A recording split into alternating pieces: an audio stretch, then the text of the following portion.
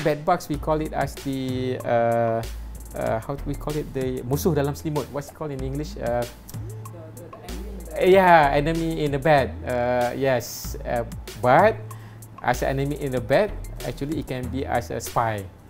Uh, I think it can be used as a tools.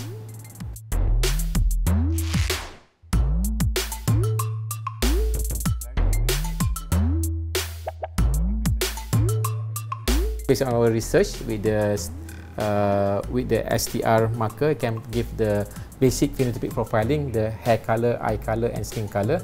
And then the STR marker give you male and gender, or the I mean it can discriminate the person, male, female, and the, also the hair color and eyes actually.